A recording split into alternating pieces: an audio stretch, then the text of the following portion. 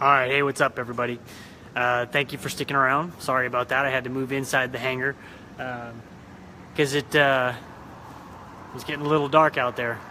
Anyway, um, so we were, we were uh, I:E ratios, and I was showing you how um, when I manipulate the uh, the respiratory rate, it manipulates the I:E ratio.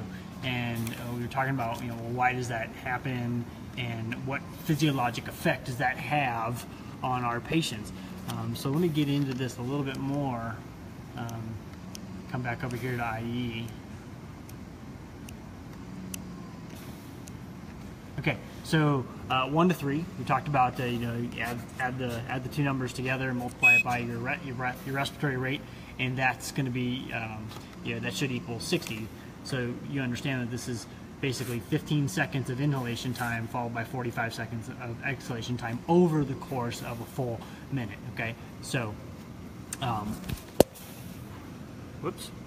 So my uh, my rate uh, is my inhalation time is is one second, so it's getting one second of inhalation followed by three seconds of exhalation.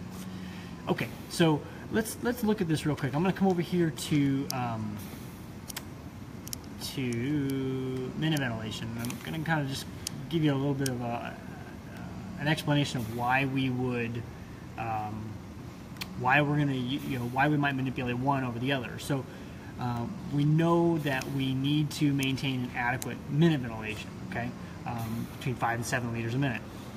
If I drop the patient's respiratory rate in, in an attempt to in an attempt to prolong their I:E, right? Say I want an I:E time of uh, you know one to four. Okay, you can see the the, the ventilator will uh, predict for me what that that I:E ratio is going to be once I uh, select this. Okay, so once I select it, you can see now my I:E ratio is 1 to 4. Now, why would I do this? Okay, typical I:E ratio is 1 to 2 or 1 to 3, depending on the patient's um, you know, work of breathing. But say I've got that severe asthmatic patient who lungs they're having a difficult time you know exhaling you know this restrictive restrictive lung disease process the COPDs emphysemas asthmas they have a difficult time exhaling so I need to give them a longer period of time to exhale Okay, they've got otherwise you get you run into problems with air trapping. So if I drop my respiratory rate, which will work, that might be adequate. Okay, let's go and let's see. Um, their uh, minute ventilation is five liters, so I'm on the low end here. Okay, so uh, maybe that's sufficient, maybe that's not. Another option would be to leave their respiratory rate up a little bit Okay, and again, this is just really going to depend on the patient what they're going to tolerate. Um, I can leave the respiratory rate up, and I can drop their eye time. Let's leave it at one, and, and, we'll look at what the minute ventilation is. Okay, it's going to take a few a few cycles, a few breaths for this to uh, catch up, um, and then it'll kind of give us a full. You know, it'll show us what their minute ventilation is. So you can see here it's starting to starting to climb a little bit. We're up to almost six liters a minute.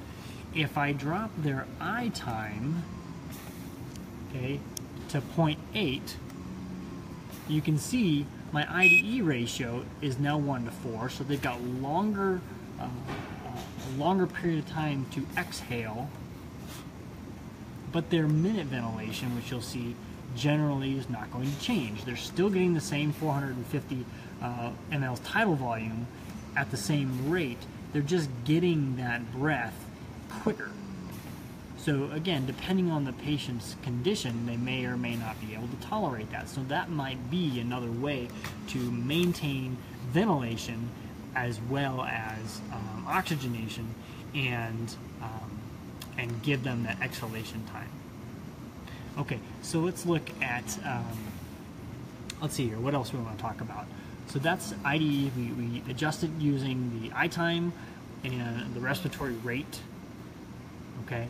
And we talked about um, minute ventilation and how we can uh, maintain our minute ventilation um, by adjusting the I time versus the respiratory rate. And uh, we talked about uh, you know, I:E ratios. Now, when would you want to uh, toy with ratios. Like I was saying, you've got that restricted lung disease patient who has a difficult time exhaling. That might be somebody that you would want to prolong that I:E, give them a 1 to 4, give them a 1 to 5. It's really going to depend on their situation.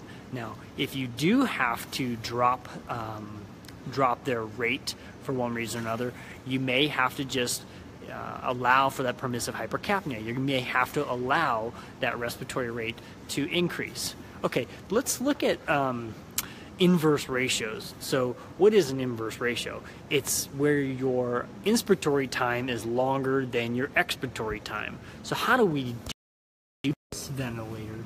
One way we can do that is to increase their respiratory rate uh, really high. Okay, so let's just see what happens. Let's turn this back.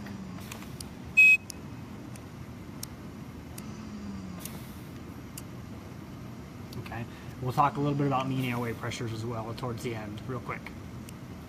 Uh, but, you know, we're not going to touch on it too much. That'll be for another video. Okay, so our I:E ratio is 1 to 4. I'm going to drop their, the um, tidal volume a little bit. Um, this would be something that you'd have to do fairly quickly on this ventilator just because you can't adjust uh, both settings simultaneously. Okay.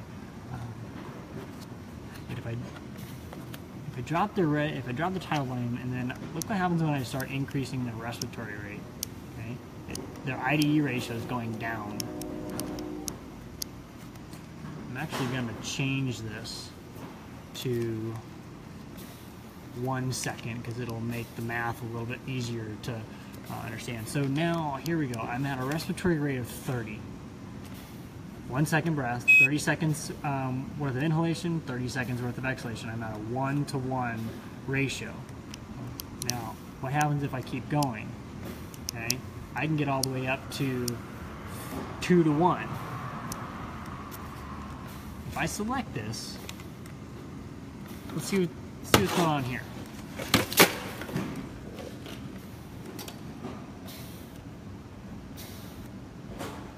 So see how quickly, so the, the, the lung is getting two seconds of inhalation and only one second of exhalation. You can almost see that that lung isn't fully deflating. So that's a risk that you run with, um, with these inverse ratios is auto.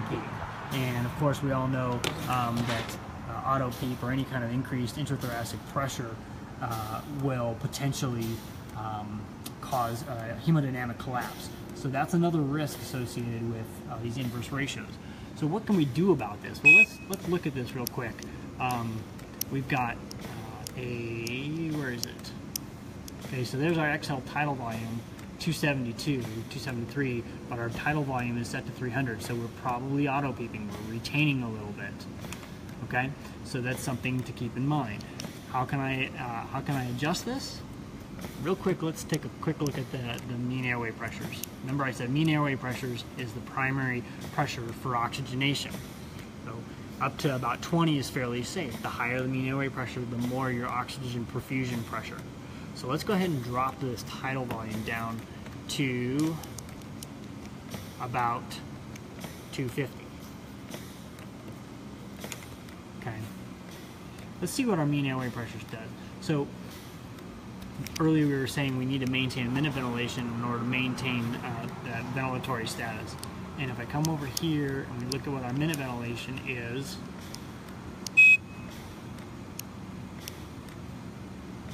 okay, we're at like 9.3.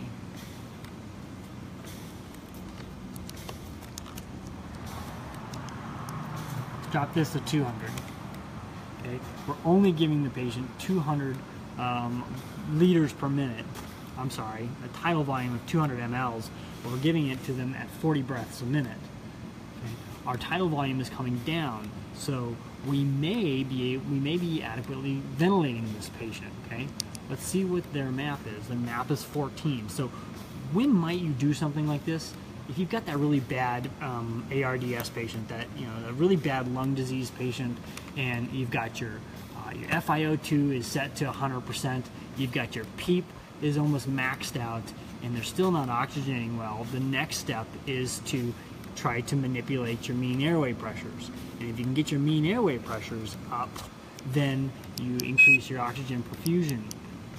So you can see if I increase their PEEP, what's going to happen to the mean airway pressure? It should start to climb. And that will potentially in increase or should increase your patient's oxygenation status. Now, if you've already increased your FiO2, you've already increased your PEEP, okay, um, and your uh, you're, you're trying to manipulate your mean airway pressures and that's not cutting it too, that's when you can go to this inverse ratio, okay? That's another way to help boost your mean airway pressures. Another way to in, uh, improve your mean airway pressures, and we'll switch back over to um, like a normal ventilation. So I, probably gonna alarm here at first because I can't give 450 tidal volume at 40 breaths a minute.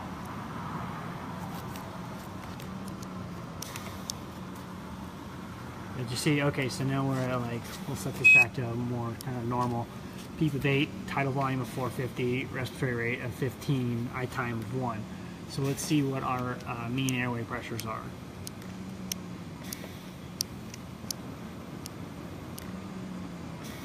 Okay, I got a 1 to 3 ID, and I got a mean airway pressure of 16. Okay, that's pretty pretty good. Let's go ahead and come in here to the back menu, and I do that by holding down select and switch over. Hey Roseanne, what's up? Nice to see you. Susan, thank you for joining. Vent control. Okay, so we're going here to vent controls and we can manipulate rise time. Now what is rise time? Rise time is how fast the ventilator delivers the breath. And then if you think about I time or inspiratory time, that's how long the inspiratory breath goes in for. So if I've got an I time uh, of one and I turn this, whoops, timed out on me. Turn, go into your vent control, I adjust my rise time, you'll see what happens. See how slowly that breath goes in? I come back up here and I switch my rise time down to one and I'm just going to the extremes.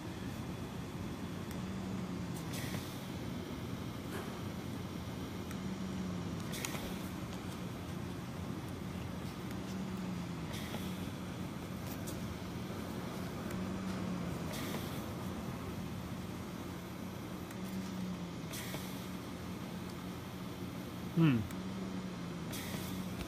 My vent is acting up on me.